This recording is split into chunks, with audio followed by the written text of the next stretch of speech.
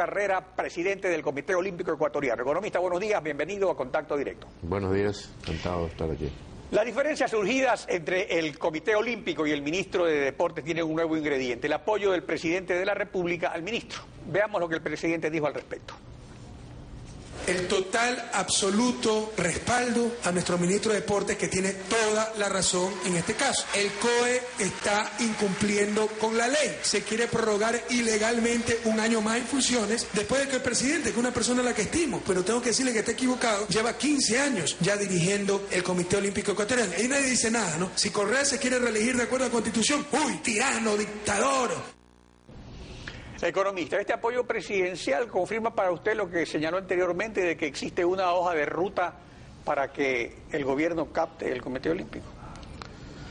Bueno, eso es evidente desde el comienzo, porque las violaciones permanentes a la ley, a la, a la ley del deporte, a la Constitución y al reglamento, donde en ninguno de los actos del ministro ha habido el debido proceso no confirmo pues de que se trata de una hoja de ruta muy clara, apoderarse de las federaciones ecuatorianas y luego del Comité Olímpico porque son los que votan para hacer para reconocer los directorios del Comité Olímpico.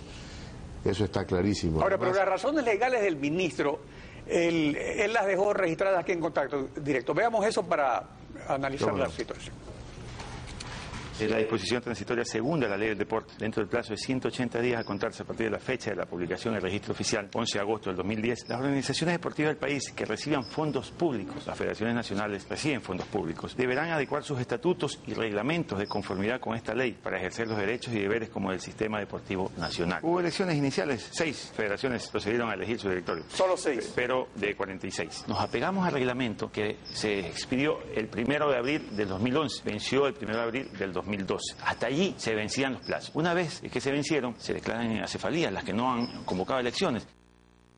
A ver, aquí es la situación económica. El juez vigésimo cuarto de Garantías Penales de Pichincha ha aceptado la acción de protección constitucional del ministro contra el Comité Olímpico. El plazo de ley para esas elecciones en efecto venció y lo que hicieron las federaciones fue, digamos, prorrogar el interinazgo. Entonces surge este conflicto entre la ley y la Carta Olímpica. Ahora, es obvio que en este tipo de situaciones lo que corresponde es un acuerdo. ¿Será posible lograrlo en Lausana la próxima semana, que, o esta semana creo que se reúnen? en primer lugar eh, lo que no dice el ministro en su intervención es de que las organizaciones deportivas que tienen reconocimiento internacional no tenían que someterse a esas elecciones previas. Y el ministro nos dice que no existe ni un artículo en la ley que le permita él anticipar elecciones. Él mismo en diciembre dio los nuevos plazos para hacer las elecciones que, de las federaciones en 2012, 2013. Pero se el plazo de, ese de, que se cumplía ahora, por ¿cómo es que él dio un nuevo plazo? Si estaba en el reglamento. no, en la ley estaba establecido un año de gracia, digamos, otro año por el Comité Olímpico, reconoció los plazos, en diciembre aprobaban todos los estatutos de las 46 federaciones, todas fueron a elecciones antes del primero de abril como él quería, ¿no? A, regañadientes. Él dice que solo, solo fueron seis federaciones las que eligieron con asamblea, cuando, cuando todas las 46 eligieron, unas con asamblea y otras con el directorio, autorizado por la propia ley, cuando no había, cuando no había, cuando no había asambleas porque las asambleas están conformadas por clubes y los clubes los aprueba él y él no los aprobó, los presentados por las federaciones. Es decir, que todo eso está construido en base a sofismos. En la realidad se hicieron las elecciones y en la, y en la realidad fueron son reconocidas por el Comité Olímpico e internacionalmente. Decir, que él va a provocar la existencia de dos federaciones, una aprobada por él, como el caso de pesas, y otra aprobada por el Comité Olímpico Internacional y por la Federación Internacional. Así que eh, decir que estábamos fuera de la ley, que estaba en acefalía, era nomás un sofisma para comenzar a apoderarse de las federaciones ecuatorianas vía una intervención, que no solo es una intervención, sino que el interventor es representante legal. El representante legal entonces es el que va a formar la Asamblea del Comité Olímpico Ecuatoriano, porque el Comité Olímpico Ecuatoriano no está intervenido, como dice el señor presidente, ni quiere prorrogarse un año. Nosotros tenemos, no, no hemos sido intervenidos sería un absurdo y la prórroga de un año no, no, no, está nosotros, no está solicitada por nosotros. Se va a cumplir los dos años de mi periodo después de dos años, porque son cuatro.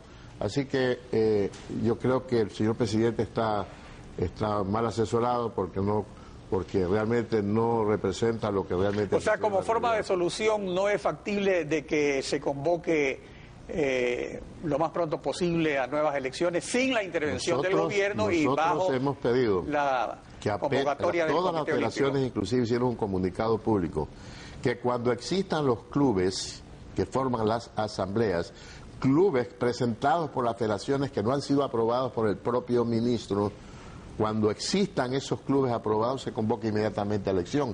Nadie se quiere perpetuar, lo han dicho todas las federaciones ecuatorianas.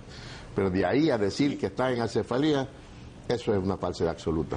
Bueno, de hecho no está en acefalía porque lo que él dice es que se han prorrogado, es decir, que continúa. No hay prórroga, no hay prórroga en la ley. Ha habido elecciones de cada una de las federaciones. Y, sin embargo, ¿están ustedes dispuestos a ir a las nuevas elecciones sin la intervención del gobierno Así y de acuerdo por a supuesto, apenas existan los clubes? Clubes que él tiene que aprobar. Y no es responsabilidad de las federaciones tener los clubes. Los, club, los clubes lo hacen las personas que quieren asociarse para practicar un deporte.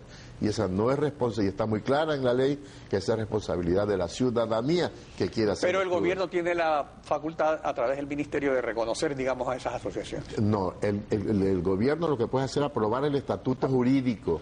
De ahí Pero sin la aprobación del estatuto jurídico, digamos, no, tendrían existencia jurídica. No es suficiente para ser miembro de una federación. Para ser miembro de un club de una federación nacional tiene que afiliarse a esa federación y cumplir con los requisitos que están en la ley del reconocimiento después del reconocimiento. Y él quiere que automáticamente sea parte de una federación, lo, que, lo cual eso tampoco está, eso, eh, eso sería completamente ilegal. Ahora, respecto al perjuicio que sufrirían los deportistas ecuatorianos en competencias internacionales, tanto el presidente Correa como Jefferson Pérez, medallista olímpico, dijeron lo siguiente, veamos.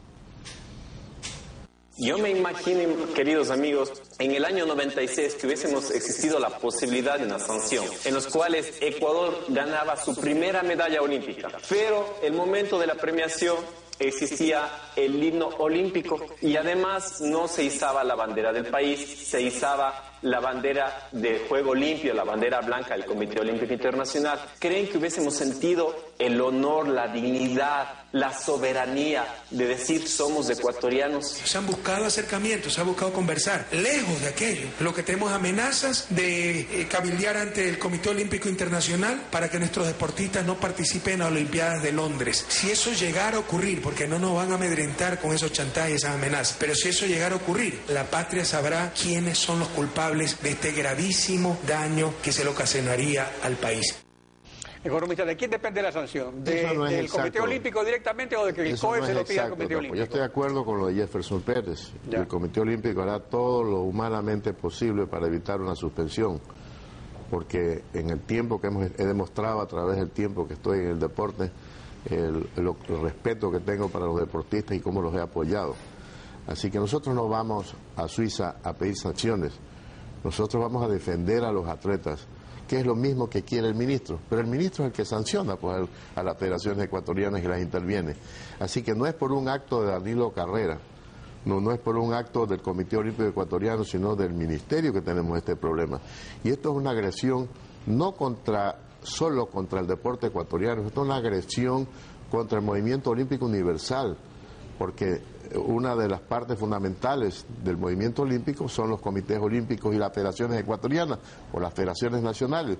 Y si un ministro las interviene en forma ilegal, sin el debido proceso, no, la culpa de, eh, eh, de, de, quién es que tiene la culpa que esto posiblemente pueda suceder. Bueno, economista, esperamos del en todo del ministro, no, de, no, de, carrera. Que en la sede del Comité Olímpico Internacional se logre una solución a este problema. Nosotros esperamos lo mismo, ¿sí? La participación en contacto directo. Gracias. Gaby.